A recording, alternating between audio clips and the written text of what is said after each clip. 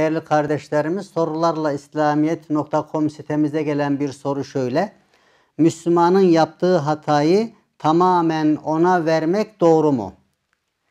E, Tabi böyle bir uygulama ve hüküm vermek asla doğru olmaz. Neden? Müslüman kardeşlerimizin bize yaptığı hata ve kusurları bütün bütün ona verip tamamen onu mahkum etmek doğru olmaz. Çünkü ilk olarak o konuda kaderin bir hissesi var. Onu çıkarıp o kader ve rıza hissesine karşı rıza ile mukabele etmek gerekir. Bu olay muhtemelen kader ilahinin bir adaleti olarak bizim geçmişte yaptığımız bazı kusurlarımızın ve hatalarımızın yüzünden bu hatalarımıza bir kefaret olması için başımıza gelmiştir. Öyleyse kaderin rahmet ve hikmet hissesini ayıralım. Ona göre konuya bakmaya çalışalım. Bu olayın bir boyutu. İkincisi o Müslüman kardeşimiz nefis ve şeytanla yenilmiş ve hata etmiştir.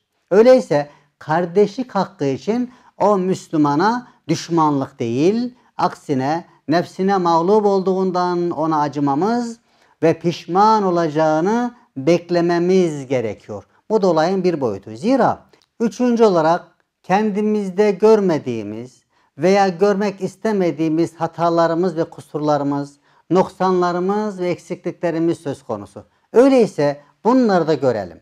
Çünkü hatasız insan olmaz. Bizim de nice hatalarımız, kusurlarımız olabilir. Öyleyse bu hatamızı da dikkate alarak bu hisseyi de ayıralım.